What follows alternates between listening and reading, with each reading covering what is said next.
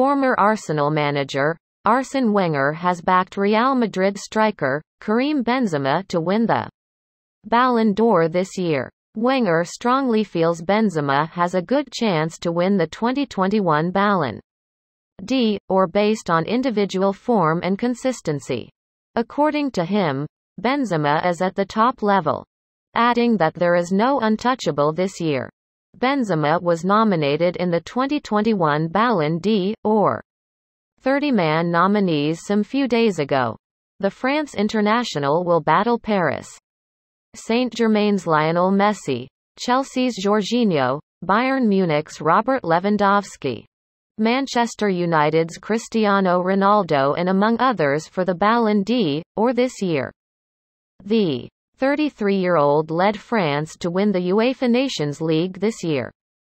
There is no untouchable this year. On individual performance, consistency, Benzema is at the top level, Wenger told Telefoot. The uncertainty is, does the weight of the trophies play a decisive role?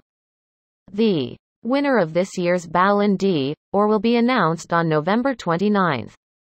Former Arsenal manager, Arsene Wenger has backed Real Madrid striker, Karim Benzema to win the Ballon d'Or this year. Wenger strongly feels Benzema has a good chance to win the 2021 Ballon d'Or based on individual form and consistency.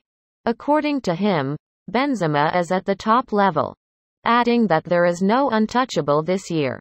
Benzema was nominated in the 2021 Ballon d'Or 30-man nominees some few days ago. The France international will battle Paris Saint-Germain's Lionel Messi, Chelsea's Jorginho, Bayern Munich's Robert Lewandowski, Manchester United's Cristiano Ronaldo and among others for the Ballon d'Or this year.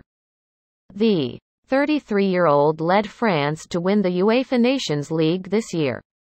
There is no untouchable this year. On individual performance, consistency, Benzema is at the top level, Wenger told Telefoot. The uncertainty is, does the weight of the trophies play a decisive role? The winner of this year's Ballon d'Or will be announced on November 29.